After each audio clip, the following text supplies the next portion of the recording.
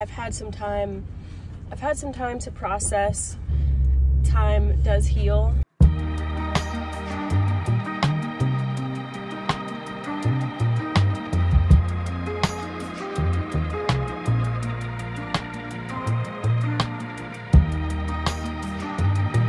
Watch out for snakes, Bubba.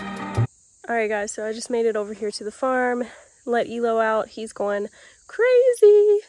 He's sprinting around like a maniac, so he's probably gonna do that for a while. Here he comes. Um, anyway, so I'm thinking, uh, I'm just gonna kind of hang out here in the front yard and chit chat with you guys because, yeah,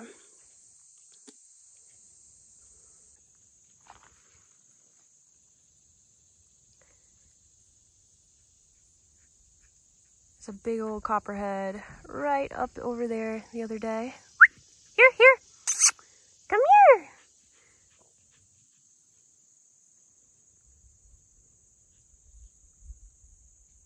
Farmhouse blanket talk with Little Red.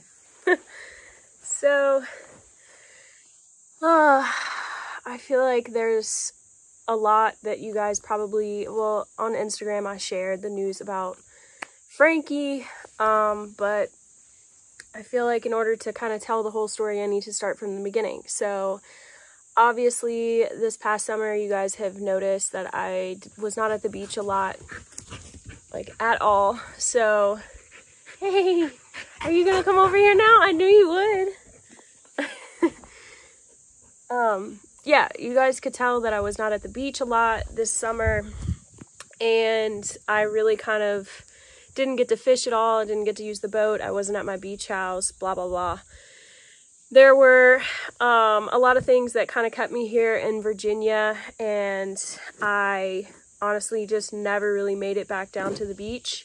So, um, which really sucked. Like, I, the Outer Banks will always have a place in my heart. Like, I love the beach. When I came to the farm, um, last fall, I obviously had no intention of leaving the beach, leaving the Outer Banks for good. I wanted to have a place in the mountains here and a place at the beach. And so I could saltwater fish and use my boat that I'd just gotten. Um, and life was extremely happy. I was I was feeling like I was living out my passion to the fullest. So when kind of I got so caught up with everything here in the mountains and I just I just didn't get back down to the beach. I didn't get to my beach house and I didn't get to use my boat. So um, when I finally did make it back down there, um, obviously towards the end of the summer, I realized that you know I'm not using this house. Um, I'm not using this boat. And to be honest, it had a lot of bad memories there from my stalker situation and stuff like that. I never really felt the same after that happened to me. I never really felt safe in that house. It had a lot of bad energy and bad memories from that. Um, also, the house was not very private at all. Like I love, I loved all the people there around my house, but literally I lived in a marina restaurant parking lot, which was pretty cool in the beginning. Um, it was a lot of fun. But after a while, especially when I share my life online with all of you guys, um, going home is amazing to feel like you have privacy. You can kind of just turn off like social and turn off being watched or just being public at all. You can turn that off when you go home.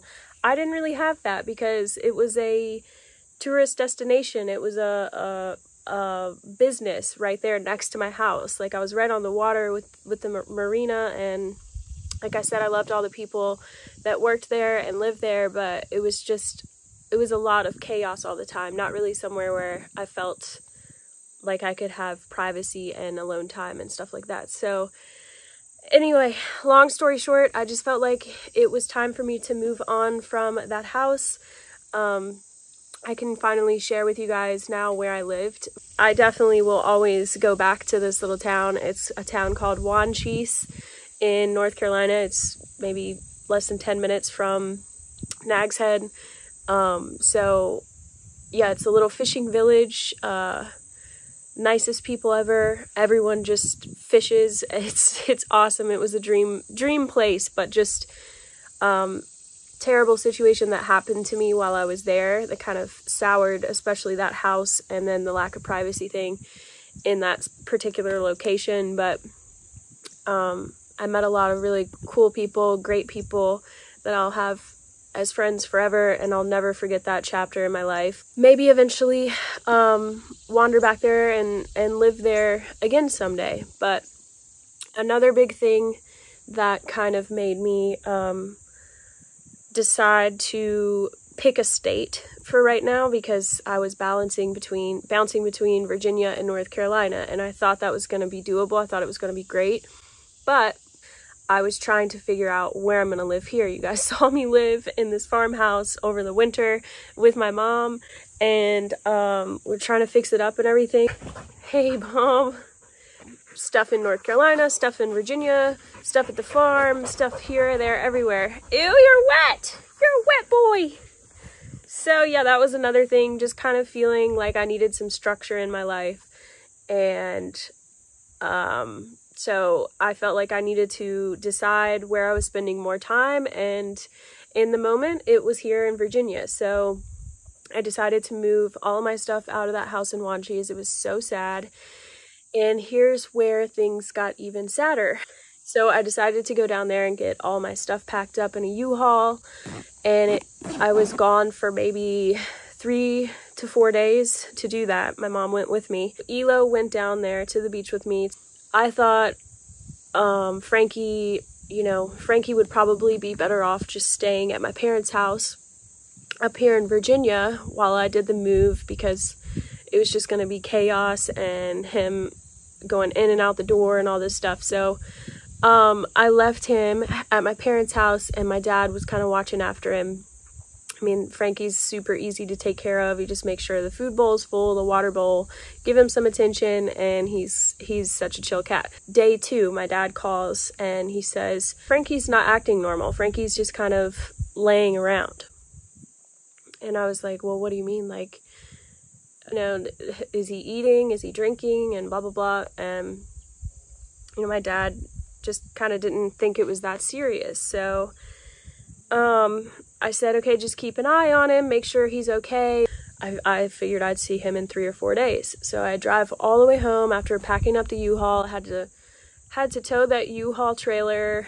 Uh, I think almost 400. I don't know, 400 or more miles, which was intense. And I remember the whole way back to Virginia, I was telling Elo in the car, oh, we're going to get to see Frankie soon.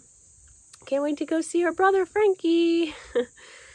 and uh, so I get to my parents' house to go see Frankie. Elo goes inside. I'm hollering, Frankie, you're here. He's usually right there at the door to greet me, always, with maybe a little bite, but a little love bite. Um, so anyway, he didn't come. He didn't come to the door. So I saw my dad he says hi and everything and was talking to him and I you know he's he's not really saying much and I keep asking where's Frankie and he kept trying to avoid the question. I'm like, "Dad, where is Frankie?" And he said, "Frankie's dead." And I said, "What?" Like it it supposedly Frankie had passed away uh, two days before that. So on day two of me being gone, Frankie had just passed away.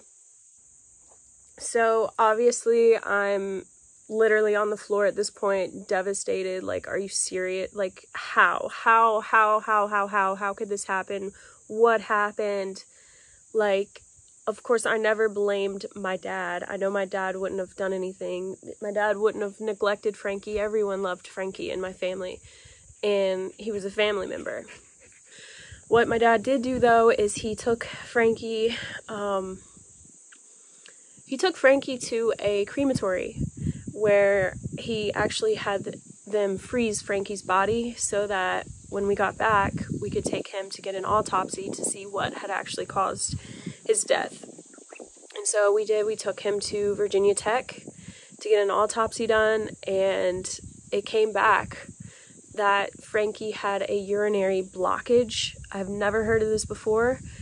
Um, the doctor said that the vet, the veterinarian said that it's pretty common in male cats and that when it happens, they usually die within 24 to 48 hours.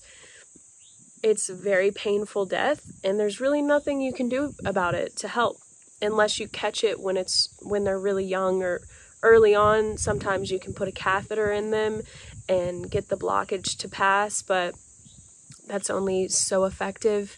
So there's really no like warning signs, there's no cure, and it's very fast that it happens. So I'm like, it's just it's just wild to me. Um, it's heartbreaking. Obviously, like I said, some time has passed. So I've been able to kind of get a grip on it, but oh my gosh, you guys have no idea. After the heartbreak of moving, leaving the beach for a while, and then having Frankie pass away, um, had a pretty terrible relationship end as well during all of that, but really that was like the least of my worries because I mean, my whole life was just like changing and falling apart, and like one thing after the other was just like bam, bam, bam, just stab, stab, stab. And I'm like, what, what do I do? Um, so the only thing I could do was just keep going, you know, just keep, try to find some, some light in the situation. Um, you know, in a way, I'm, I really think Frankie was an angel that was brought into my life. If you guys remember, um, Elo found Frankie in my yard down there in Wanchese at the beach. He's like this big. He was super tiny little kitten. And they were best friends. Elo and Frankie were best friends. Weren't you, Bo? yeah. Yeah, she were. They were best, best friends. And um, they grew up together because Elo was kind of a puppy puppy stage, maybe six months when he found Frankie, and Frankie was only two years old when he passed, and Elo is about two and a half now. So uh, it was extremely hard on Elo. I felt it was uh, necessary to show Elo Frankie's um, body before the autopsy, and that was I, I, I had to bring myself. It took me a long time to even be able to open the box and see him. Oh, it was terrible, but I'll tell you, he was the most beautiful, beautiful cat. He looked so peaceful. I remember Frankie would, it was one of my favorite things he did. He was such a jokester, a prankster. Like, he really did have a sense of humor like a human. It was hilarious. He was the coolest cat. He'd go on the beach. He'd, he wasn't afraid of the ocean, the water he would go on every adventure that I would take Frankie and Elo everywhere. So one thing though that he did in the mornings that I still think about every morning and I miss it so much. So I would get up in the morning to and the first place I'd go is to the bathroom to pee and he, I would pretend like I didn't see him, but he would jump into the shower there's a persimmon. He'd jump into the shower and I'd pretend like I didn't see him. And then would walk out of the bathroom and uh, Frankie would jump out of the shower and like grab latch onto my leg and like I would pretend like I was so afraid like he really got me like it was I was so scared and he loved that you could genuinely see like he got a thrill or like a kick out of scaring people and specifically me it was he was the cutest, the coolest cat. And I find it very, I don't know, kind of soothing in an odd, weird way. Obviously, I wish that I could have had an eternity with Frankie, but um, I think he really brought a lot of life to my life and to Elo's life. And where Elo found him and ew Elo you're so dirty and disgusting. Come here. Come here. Come show them. Ew! You guys this dog is so dirty. He just got down in the creek stinks you crazy boy uh-uh I don't want your ball. Good boy.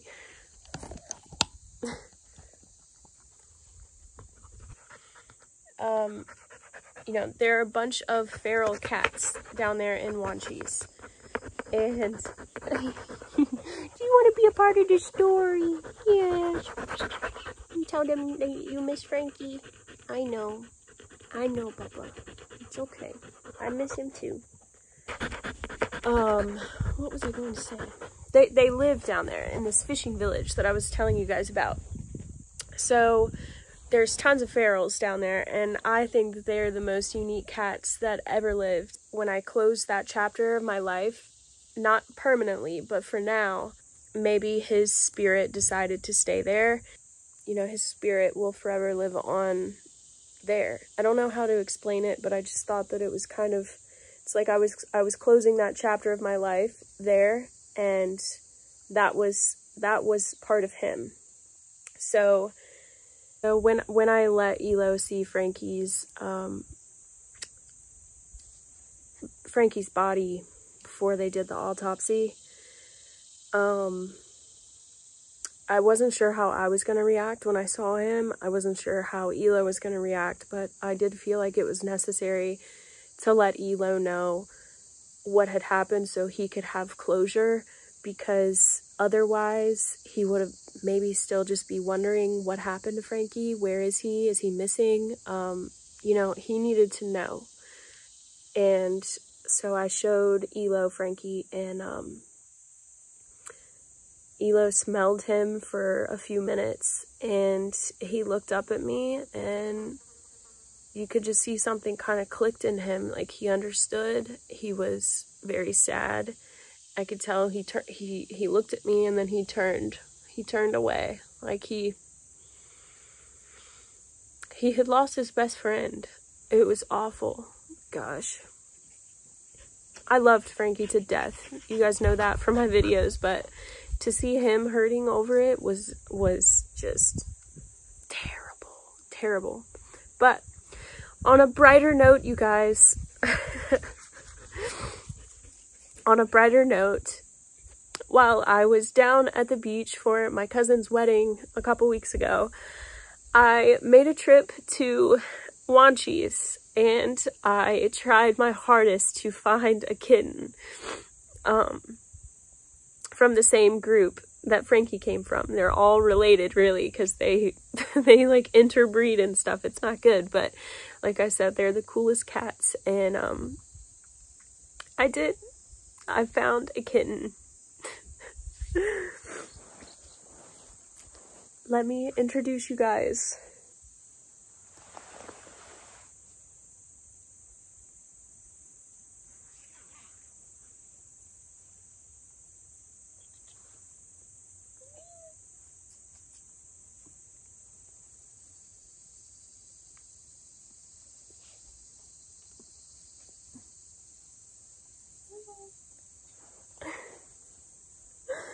You guys, I found a kitten.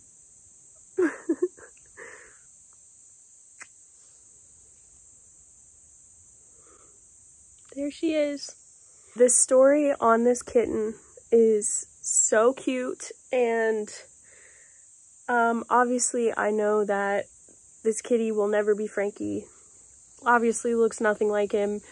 Um, that's not what matters. Come here, baby. Okay, let me tell you guys the story on this little baby right here. She's so tiny. So I don't have a real name for her picked out yet. I was thinking Millie. I'm not really sure. And she's so tiny that I did take her to the vet and um, they think that she's a girl. Pretty sure. She's so little it's hard to tell right now. But so the story was obviously I went to Wanchese to um, find a kitten. And like I said, they're all related over there. Like they're Frankie's kinfolk 100%. Most of them look just like Frankie, but there have been some black cats kind of mixing in lately.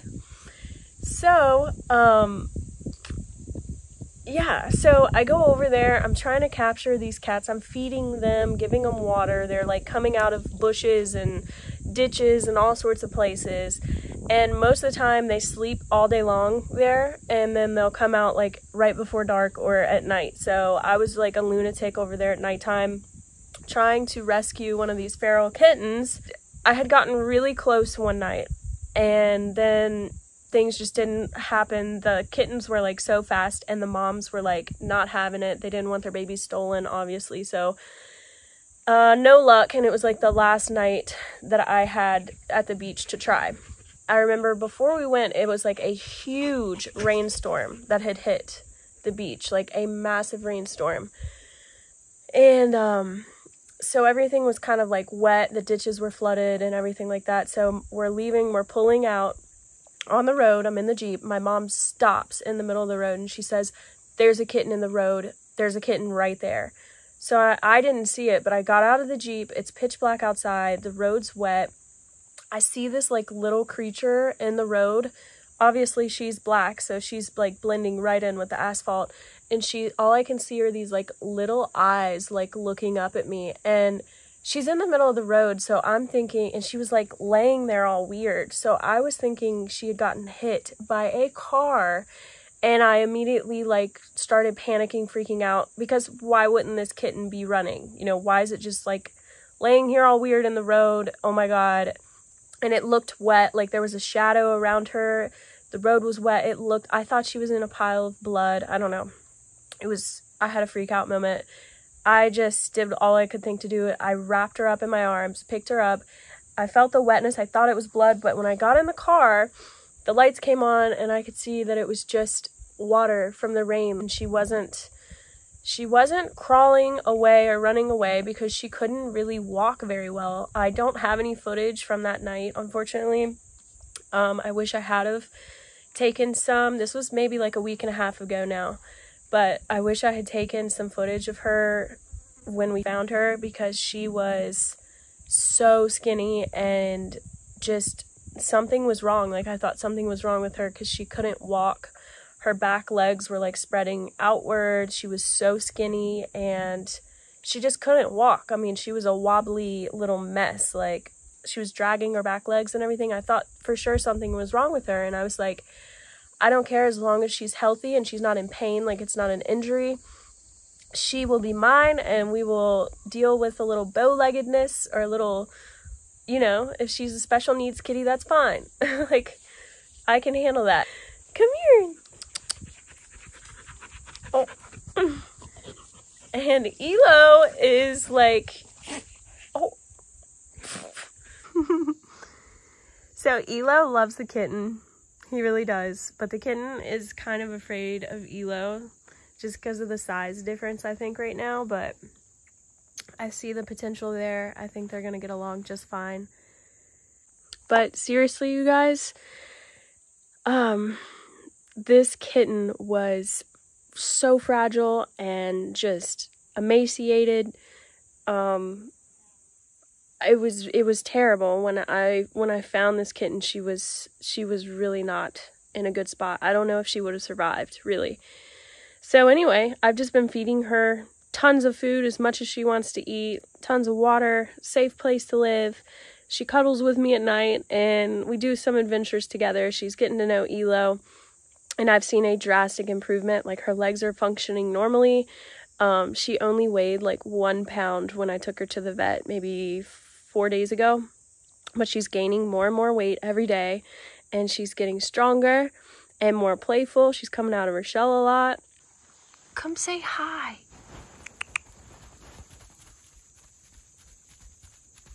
Come say hi to the wolf pack. Ugh, Get that dirty boy ball away from me. See, she's a little bit afraid of Elo, but she's coming around.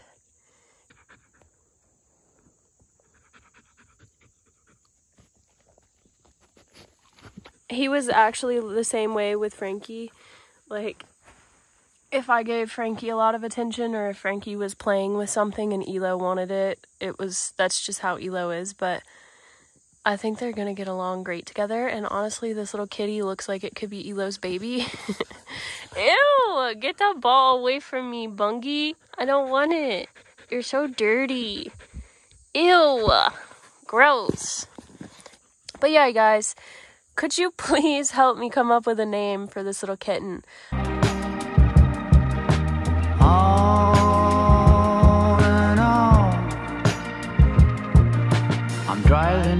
My car, the road is long and full of dust. The landscape changes around me, on and on, I feel immersed. Whatever happened to me, happened for my highest good. I read that in so many books, now it's almost understood.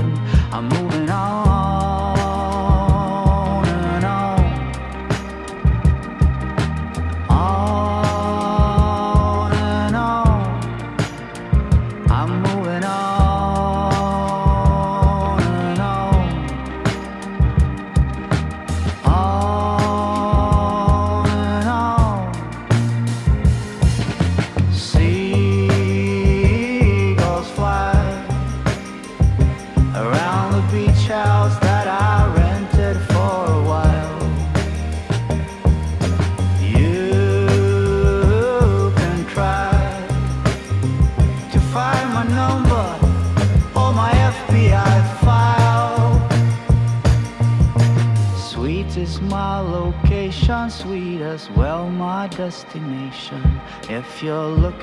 To begin, then look no further than within. I'm satisfied with what I've got and still eager for more. The change that you've been looking for will come knock on your door. Oh,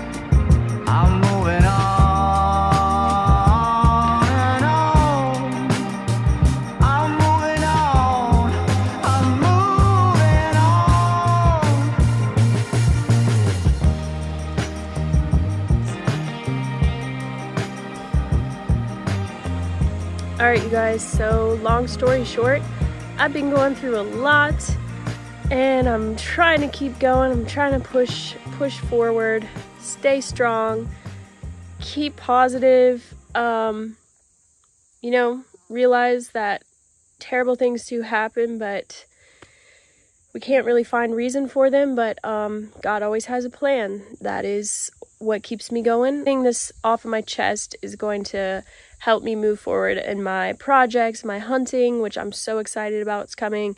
Um, I do have my boat still. It's up here with me in Virginia, so I can't wait to take it to a bunch of lakes and fish and um, also take it back down in the Outer Banks. Um, we're now over 200,000 subscribers. I love you guys so much. All right, I'm going to stop rambling now. I will see you guys in the next one.